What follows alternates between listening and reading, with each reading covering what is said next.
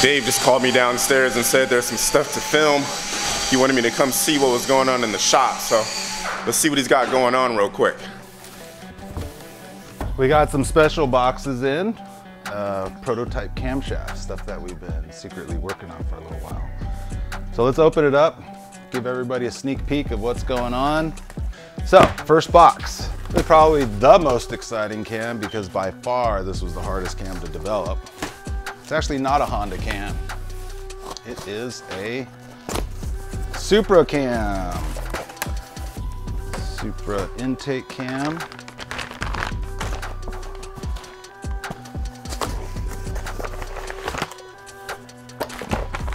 Supra exhaust cam. Now, these aren't 2J cams. These are uh, BMW B58 and BMW S58 cams. Too many people already doing the 2J stuff. No reason for us to do the 2J stuff, but we'll do the B58 and S58. It's not easy. This was definitely the hardest cam to do. This, if you look at this, the lobe, see how it's almost inverted? The base circle's small and then the lobe is really big. That is a result of the double Vanos, uh, double rocker arms. Now I have one more cam that I designed. This cam ditches the entire double Vanos system. And it goes along with some shaft mounted rockers that we designed. But if you look at this race cam, look at the lobe profile, and then you look at what a double Vanos profile looks like, you'll see the difference. C1 is inverted, I would go down like this. This, it, this intake lobe is a double Vanos and you can see the lobe is inverted. This, this intake cam is a shaft mounted rocker without the two rocker arms so you could look at the profile as more traditional looking. K24 or K20C4 camshaft. This is the intake.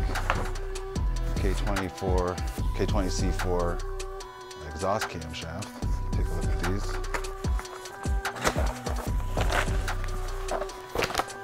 These are the cams that are in the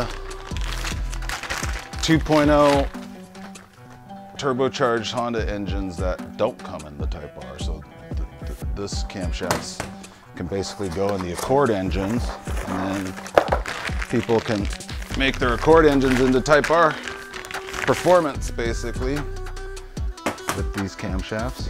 So we have the uh, intake camshaft here, still retains the three lobes, exhaust camshaft, single lobe, fuel pump lobe here. And the main difference between the K20C1 and the K20C4 uh, cam is, is where this uh, trigger wheel is. Ah, K24 Z7 intake. K24 Z7 exhaust. Uh, K24 Z7, this is the 2.4 liter single exhaust port engine that came into all the ninth gen Civic SIs.